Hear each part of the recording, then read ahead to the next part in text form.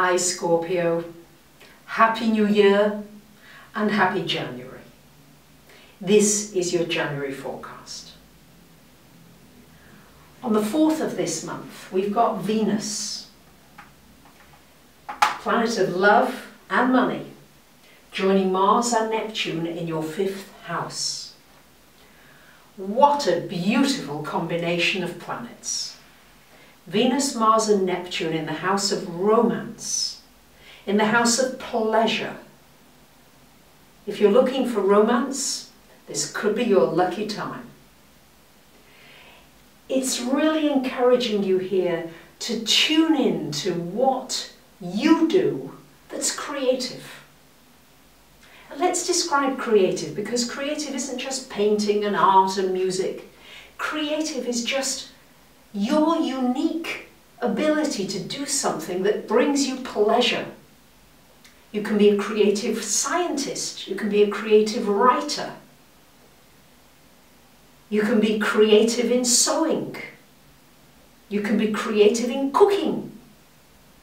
Where is your creativity that makes your heart sing? Venus the heart. When your heart is singing, that's when you draw to you people also whose hearts are singing, and you bring about that feeling of well-being. This is wonderful for doing anything with children, but also wonderful for bringing out the child within you. You know how it was when you were little and you were doing something that you enjoyed so much, you forgot about everything. That's what this is all about. So what a wonderful way to start the year. Now Mercury, the planet uh, that rules travel and technology and communication, is retrograde until the 9th of the month. So chances are things might be a little bit slow. So I'm just going to suggest Scorpios, don't push things.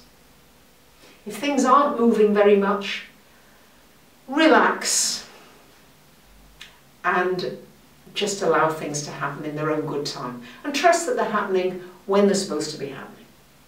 And then you'll find it much easier to contend with the Mercury energy. Now on the 12th of the month we've got a full moon happening up here in your ninth house, Scorpios. So a full moon in your ninth. This is shining a light on your education, your learning. Is there something you'd like to study? Is there something you'd like to learn and go deeper with? This would be a great time to look into that. It's also a great time to travel, to plan a trip to somewhere that you'd really like to go to. It's shining a light on you, expanding your horizons a little bit.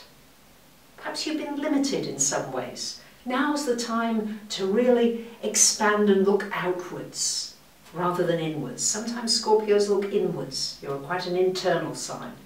This is pushing you out a little.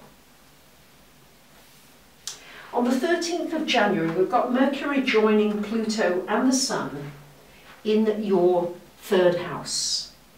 This is going to be good for some communications, good for networking, good for negotiating, good for writing, good for speaking, good for selling anything. It's also going to be very good for having any kind of deep conversations taking something to a deeper level. And very, very good for studying. On the 20th of January, we've got the sun coming into your fourth house.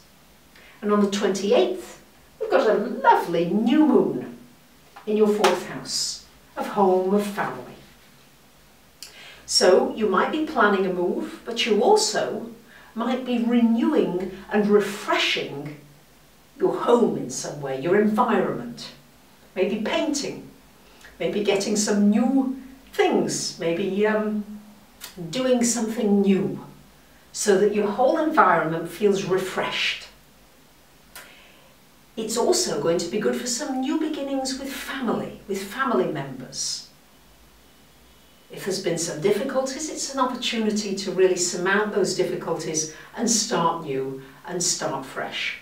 And maybe you'll have an opportunity to see a situation from a different light. And that will bring you some inner peace.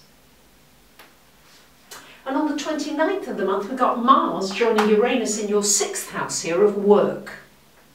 So this is really going to be time to really get going with a project. Wonderful time. This is when something can really get moving.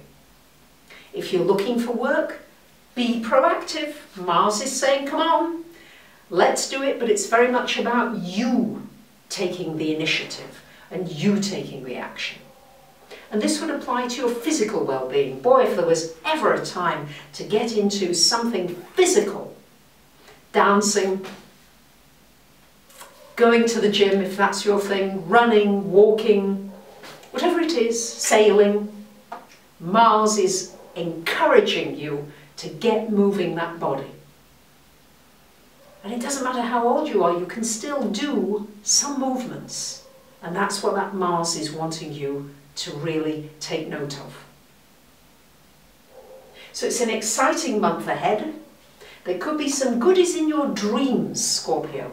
So it might be worth having a pen and paper by the bed because you might get some really uh, powerful, even prophetic messages coming through. So thank you very much for commenting. I love hearing your comments, reading your comments. And thank you for sharing and subscribing. Happy January!